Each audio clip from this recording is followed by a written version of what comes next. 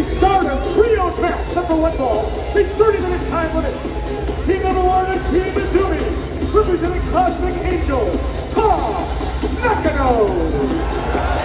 Representing Queen Quest, Silas Herman And the number one contender for the New Japan Strong Women